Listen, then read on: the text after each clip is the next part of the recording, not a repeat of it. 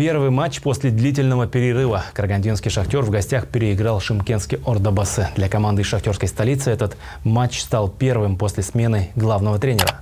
Игроки шимкенского Ордобасы на правах хозяев поля с первых минут завладели инициативой. Доминировали на поле и за первые 45 минут создали несколько опасных моментов в штрафной площади карагандинского «Шахтера». Однако защитники и страж ворот горняков Давид Юрченко в этот день действовали надежно. Стоит отметить, что для нашего кипера этот матч был дебютным в майке карагандинского «Шахтера». И дебют удался. Первая же игра на ноль.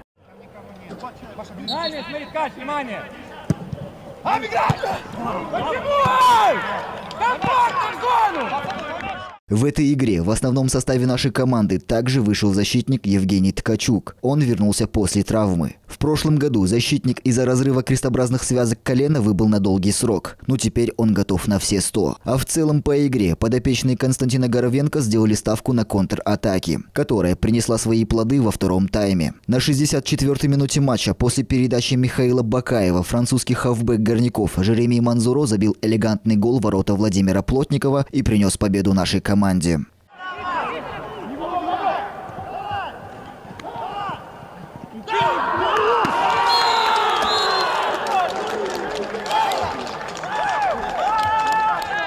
а игру команды доигрывали уже в десятером. На 75-й минуте матча в составе хозяев поля удалили сенегальского полузащитника Абдулаи Диакате. А в стане горняков на 80-й минуте красной карточкой отметился автор победного гола Жереми Манзуро. Теперь, после матча третьего тура, карагандинский «Шахтер» с шестью очками идет на четвертом месте турнирной таблицы. Следующий тур казахстанской премьер-лиги должен пройти 5 июля. Но сегодня стало известно о планах правительства Республики Казахстан ввести жесткий 14-дневный карантин. И в связи с эпид-обстановкой календарь КПЛ может в очередной раз поменяться. Бекижан Ордагулу, Николай Шевелев, Пятый канал.